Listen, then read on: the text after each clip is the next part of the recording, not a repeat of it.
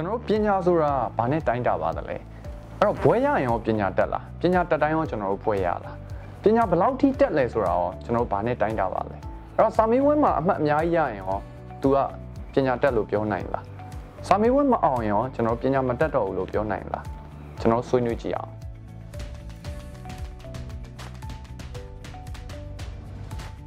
အားလုံးပဲမင်္ဂလာပါကျွန်တော်ဖြိုးရကပါအဲ့တော့ကျွန်တော်တို့ဆက်ပြီးတော့ဆွေးနွေးကြည့်အောင် လူတစ်ယောက်ကလေးတစ်ယောက်ကစာအရန်တော်တယ်အဆင့်နေအရန်ဝင်နေဆိုရင်ကျွန်တော်တို့ well train လောက်ခံထားရတယ်လို့ပြောလို့ရပါတယ်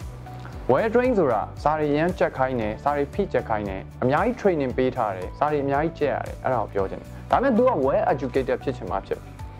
အဲ့တော့ well educated ဆိုတာပညာတတ်ကိုခေါ်တာအဲ့တော့ကျွန်တော်တို့စာရီအများကြီးရတဲ့အဆင့်တွေဝင်တယ်ဒါပေမဲ့ तू ကစာတော်တယ်လို့ပြောလို့ရတယ်ဒါပေမဲ့ပညာတတ်တယ်လို့ပြောလို့မရသေးဘူး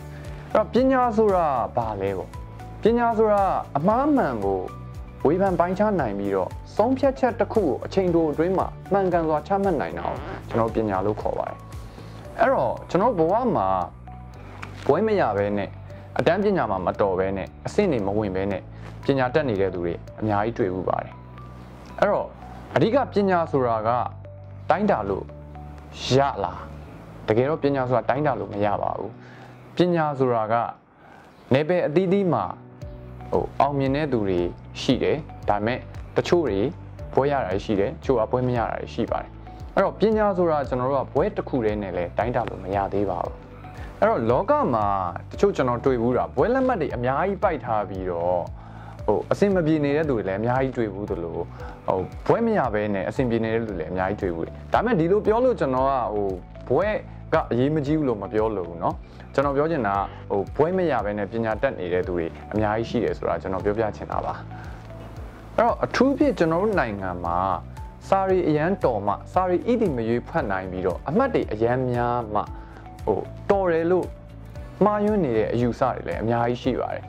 တကယ်တော့ every child is special ပါခလေးတိုင်းမှာဝေးရပါပင်ကိုဗီဇအရေးအသွေးအရေးချင်းတွေကိုစီကိုငှပါလာပါတယ်ဒါကိုမိဘတွေအနေနဲ့ဖော်ထုတ်ပြီးတော့မြေတောင်မြောက်ပေးတတ်ဖို့ပဲလိုပါတယ်အဲ့တော့ကလေးတွေကိုစာရေးကြီးအရန်ဖိချက်ခိုင်းမယ်ဣတိမရွေးတွေချက်ခိုင်းမယ်ရေးခိုင်းမယ်ဆိုရင်သူတို့ရဲ့ memorizing skills တွေပဲတိုးတက်လာမှာမှတ်ဉာဏ်တွေပဲတိုးတက်လာမှာ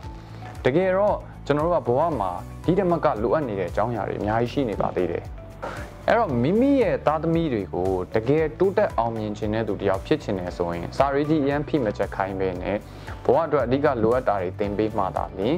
well educated ဆိုတဲ့ပညာတတ်တယောက်တကယ်အမှန်ကန်ဖြစ်လာမှာသိချပါတယ်အဲ့တော့ကလေးတွေအနေနဲ့ကျွန်တော်တို့စာမေးပွဲမှာအမှတ်တွေအများကြီးရမှစာတော်မှစာအုပ်ဣတိမရွေးကြက်နိုင်မှလူတော်လို့သတ်မှတ်မယ်ဆိုရင်ကျွန်တော်ဘာနဲ့သွားတူနေတယ်လဲဆိုတော့ဒီပုံမှာမြင်တဲ့အတိုင်းပဲကျွန်တော်တို့ဒီမှာငားရယ်မြောက်ကယ် ဖြန်လေးရယ်စင်ရယ်မြေခွေးရယ်ဟိုတစ်ပင်တက်ပြိုင်ကိုင်းတာနဲ့အတူတူပဲဖြစ်နေမှာပါအဲ့တော့ကျွန်တော်တို့ဟိုမြောက်အနေနဲ့တော့တစ်ပင်တက်တာလွယ်ကူပေမဲ့ငါးဆိုရင်တစ်ပင်ပေါ်မတက်နိုင်ဒါဆိုရင်ငါးကကျွန်တော်တို့အသုံးမကျတော့ဘူးလားနော်အဲ့တော့စာမေးပွဲဆိုတာက memorizing skill ဆိုတဲ့မှတ်ဉာဏ်ကိုအဓိကစစ်တာဖြစ်ပါတယ်အဲ့တော့ ဘဝမှာ memorizing skill ဆိုတဲ့ဉာဏ်ဉာဏ်သွေးမကောင်းတာနဲ့ပဲဒီလူတယောက်ကမထူးချွန်မတိုးတက်တော့ဘူးလားဥမာငားဆိုရင်ရေထဲမှာသူရေကူးနိုင်တယ်ရေငုပ်နိုင်တယ်မြောက်ကရေမကူးနိုင်ဘူးဥမာစင်ဆိုလဲထုံနီး၎င်းမယ်စင်ကတစ်ပင်ကိုမတက်နိုင်ဒါပေမဲ့ तू ကလူတွေအများကြီးကိုတင်ဆောင်နိုင်တယ်လေးပင်နဲ့တစ်တုံးနေနေကိုဆွဲပြီးတော့တောင်းပေါ်ကို तू တက်နိုင်တယ်ဒါဒီပဲဒါစင်ရဲ့အရေးသွေးပဲအဲ့တော့ကျွန်တော် exam ဆိုတာ memorizing skills ကိုစစ်တာမှတ်ဉာဏ်ဘယ်လောက်ရှိသလဲကိုစစ်တာ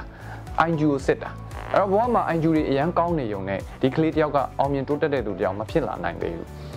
ကျန်တဲ့အချက်တွေကျွန်တော်တို့အများကြီးလိုနေပါသေးတယ်ဒါကြောင့်မိမိတို့သားသမီးတွေကိုတကယ်တိုးတက်အောင်မြင်ခြင်းတယ်ဆိုလို့ရှိရင်ဟို memorizing skills ကိုပဲအရင်လေ့ကျင့်မပေးပဲနဲ့သူတို့ရဲ့မွေးရပါအည်သွေးတွေအည်ချင်းတွေဗီဇတွေဝါသနာတွေကိုဖော်ထုတ်ပြီးတော့ပြုစုပြိုးထောင်ပေးနိုင်လို့ရှိရင်ကလေးတွေအနေနဲ့အောင်မြင်တိုးတက်လာမှာပဲဖြစ်ပါတယ်အားလုံးကျေးဇူးတင်ပါတယ်